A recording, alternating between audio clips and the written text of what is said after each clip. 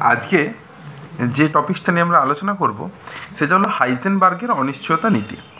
দেখো, আমাদের সমাজ ফিল্ডে যে তত্ত্বর যে যেগুলো আমাদের ডিমেরিটস দেখা গেল বা ত্রুটি দেখা গেল, তারপরে এই যে পরমাণু মডেলকে যে আমরা ডেভেলপ করছি, সেই ডেভেলপের ক্ষেত্রে কিন্তু দুজন বিজ্ঞানীর অবদান খুবই অনস্বীকার্য। কারণ তাদের যে মতবাদ অনুসারে কিন্তু আস্তে আস্তে পরমাণু মডেলটা ডেভেলপড হয়েছিল। তারা হলো ডিপ ব্রগলি এবং বিজ্ঞানী হাইজেনবার্গ। কারণ হাইজেনবার্গ যে অনিশ্চয়তা নীতি, এটা কেন জরুরি বলছি? দেখো,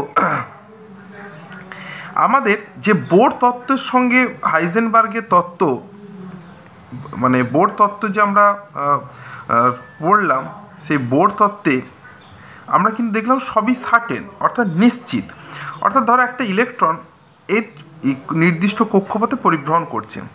তাহলে এক্ষেত্রে রেডিয়াস এর ভেলোসিটি এনার্জি সবই কিন্তু আমরা দেখো ক্যালকুলেট করতে পারছি। কিন্তু বাস্তবে কিন্তু সেটা সম্ভব নয়। অর্থাৎ অ্যাট এ টাইম ইলেকট্রনটা যখন এর পরিভ্রমণ করছে, তার ধরো আমরা জীব ব্রগলির তত্ত্ব থেকে আমরা কী পেলাম? তার মধ্যে তরঙ্গ ধর্ম এবং কণা ধর্ম উভয়ই বর্তমান। তাহলে এ যখন ঘুরছে, তার এর একটা আমাদের কি আছে? ভরবেগ আছে। আবার এর একটা নির্দিষ্ট অবস্থান আছে, অর্থাৎ এই অবস্থানে আছে। তাহলে এটা যখন ঘুরছে, তখন ঘূর্ণন কালে আমি কিন্তু এর অবস্থান এবং ভরবেগ অ্যাট এ টাইম বলতে পারব না। দেখো, এমনি আমাদের যেটা বাস্তবিক একটা উদাহরণ দিই, এটার সঙ্গে সেরকম যদি রিলেট করতে নাও পারো, কিন্তু আমরা যদি সাধারণভাবে আমরা এগুলো তো ধরো খুব ক্ষুদ্র কণা, সেই ক্ষুদ্র কণার ক্ষেত্রে যদি নাও ভাবা যায়, আমাদের সাধারণভাবে যদি আমরা ভাবি, দেখো ধরো আমাদের বা প্রত্যেকের বাড়িতেই ধরো আমাদের দেখবে সিলিং ফ্যান আছে। যে ফ্যানে আমরা হাওয়া খাচ্ছি সিলিং ফ্যান ঝুলছে। তো সিলিং ফ্যানের ধরো কোনো একটা ব্লেডেতে আমি একটা চুইন গামকে চিটিয়ে দিলাম। চুইন গামকে চুইন গামকে চিটিয়ে দেওয়ার আগে চুইন গামটার আমি ভর করে নিয়েছিলাম। আমি দেখে নিয়েছিলাম চুইন গামের ভর কত। তাহলে সেই চুইন গামের ভর আমি জানি। চুইন গামের ভর ধরো আমি হলো এম বেশ। এবার আমার ধরো রেগুলেটরটা এমন, সেই রেগুলেটরটা কেমন? না, যেমন ধরো আমাদের মোটর সাইকেলের দেখো, কী আছে? মাইলেজের বা আমাদের দেখবে ভেলোসিটি ক্যালকুলেশনের জন্য কাঁটা আছে। সেরকম ধরো আমি একটা রেগুলেটর লাগালাম, যার সাহায্যে ফ্যানটা যে ঘুরছে, তার গতিবেগটাও আমি নির্ণয় করতে পারব। নির্দিষ্ট সময় সময়। আমাদের যেগুলো আমরা হয়তো দেখতে পাই না, আমরা দেখবে রেগুলেটর দিয়ে তো অপারেট করি, যে কখনো স্পিড বাড়ায়, কখনো স্পিড কমায়। ধরো আমি সেক্ষেত্রে স্পিডটা ডিজিটাল কোনো একটা নিলাম, আমাদের যে আছে যে ফ্যানের রেগুলেটর তার যেন আমি ডিসপ্লেতে দেখতে পাচ্ছি তার ভেলোসিটি কত। তো দেখো, আমি যখন ফ্যানটা আমাদের বন্ধ আছে, তখন কিন্তু আমি বলতে পারছি কি, যে ওইটার ফ্যানটার ওই যে ব্লেডেতে চুইন গামটা আছে, সেই চুইন গামটার অবস্থানটা কোথায়? আমি আঙুল দিয়ে দেখিয়ে দিতে পারব ব্লেডটার অব- এইখানে চুইন গামটা আমাদের আছে এবং আমাদের ফ্যানটা এই অবস্থায় আছে। কিন্তু তখন দেখো কী হচ্ছে, ফ্যানটা কিন্তু ঘুরে নি। তখন ফ্যানটার ভেলোসিটির মান কত? ভি সমান কত? জিরো দেখো। আবার এরপরে দেখো, এবার তুমি ফ্যানটাকে চালিয়ে দিলে। তখন কী হবে? তখন তুমি দেখো, কোনো একটা মুহূর্তে কিন্তু তুমি বলতে পারো না, তাই তুমি তার কি দেখতে পাচ্ছ? তার ভর তুমি জানো রেগুলেটারে তুমি তার স্পিড দেখতে পাচ্ছ। কিন্তু কোনো একটা মুহূর্তে তুমি অ্যাট এ টাইম বলতে পারছ না যে আমাদের চুইনিগামটা এই অবস্থানেই আছে। কারণ সে তো সবসময় ঘুরছে। সে তো সবসময় ঘুরছে। অনুরূপভাবে একটা ইলেকট্রন তো সবসময় ঘুরছে। তাহলে ইলেকট্রনটার ভর জানি, আমি বেগ যে জানতে পারি, কিন্তু তার অবস্থানকে বলা সম্ভব নয়। আবার যদি ধরে নেওয়া হয় ইলেকট্রনটা স্থির অবস্থায় আছে, তাহলে তার আমি অবস্থান বলতে পারব, কিন্তু তার গতিবেগের মান তখন শূন্য। ফলে আমি অ্যাট এ টাইম দুটো জিনিসকে এত বলতে পারব না। কি? তার অবস্থান এবং ভরবেগ অর্থাৎ যে পজিশান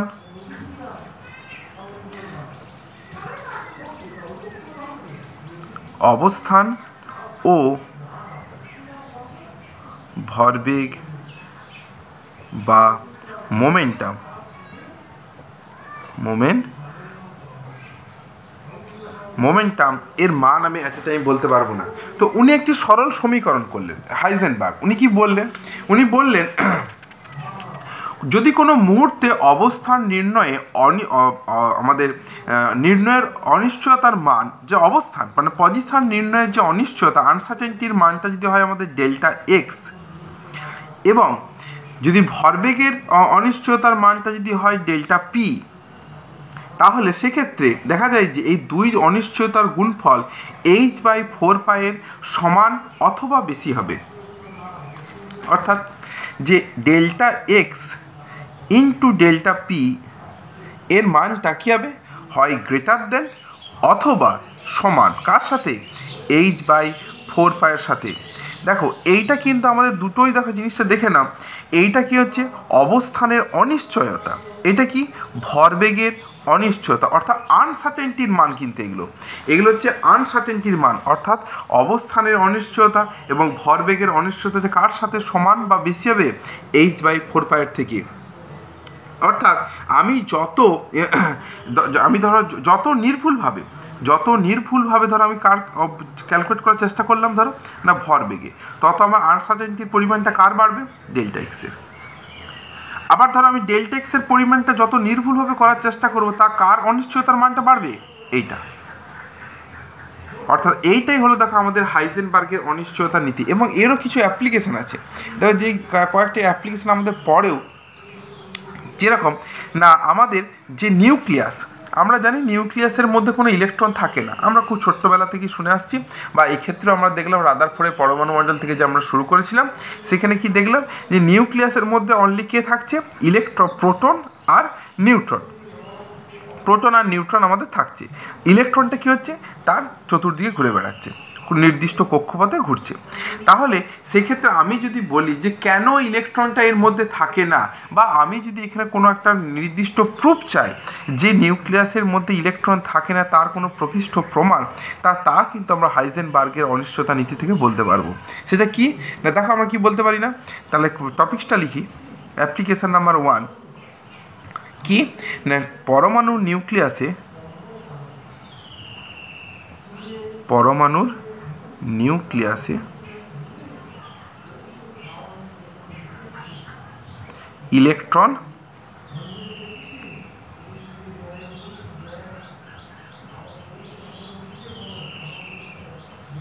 থাকে না। এইটার আমার একটা প্রমাণ দিতে হবে আমাকে। বেশ, তাহলে দেখা যাক।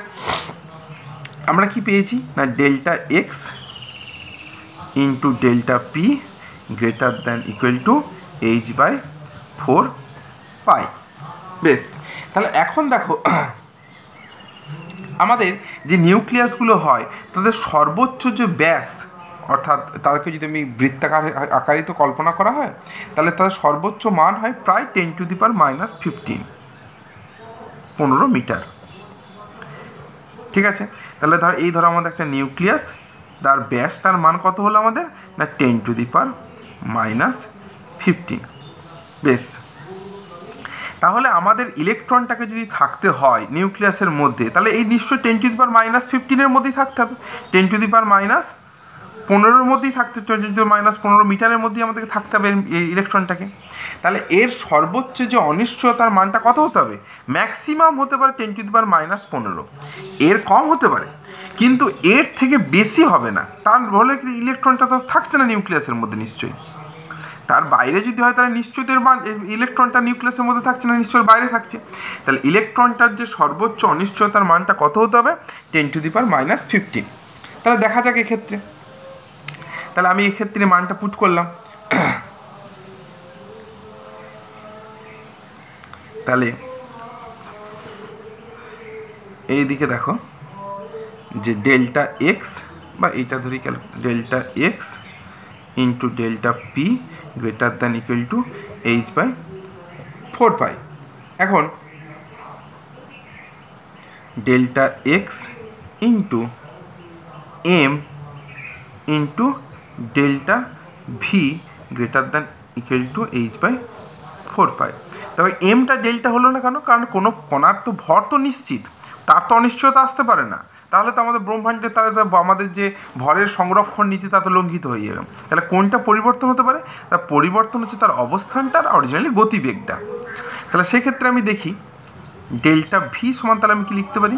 Greater than equal to h by four pi